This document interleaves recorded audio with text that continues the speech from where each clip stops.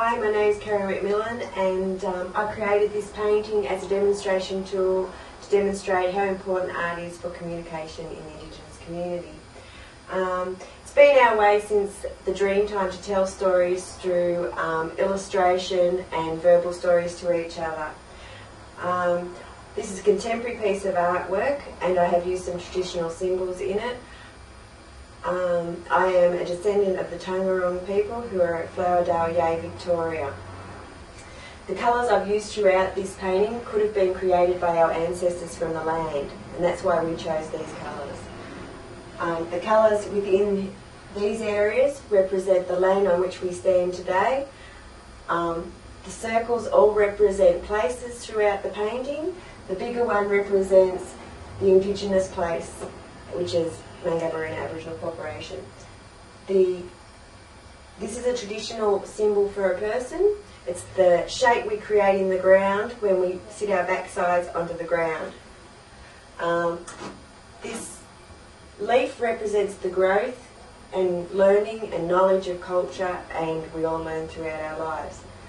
The hand represents a physical connection to the painting.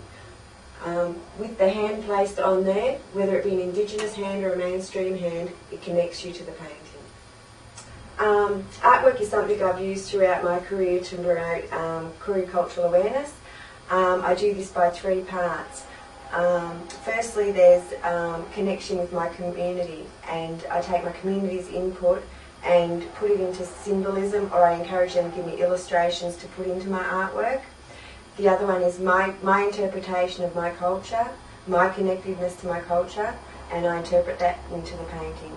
I also get mainstream people to put their input in, and that may be by getting their hand and connecting them physically to the painting. Um, so everybody feels connected to my painting. When Aboriginal people have input into artwork, they will feel connected to the artwork, they'll feel connected to the issue, and they'll also, if they know the artist, then they will relate to the, the material. Um, I recommend that you use a local artist and local community to produce pamphlets or flyers. When Aboriginal people see a flyer with artwork on it, they know the issue will concern them, and if it doesn't, they'll pick it up and share the information among other community members. Um, by having brochures, posters, pamphlets with Indigenous material on them, people will feel welcomed into your service and feel a part of the service. Um, it's with this we hope to improve and broaden the access of services and the equity within the Indigenous people using those services.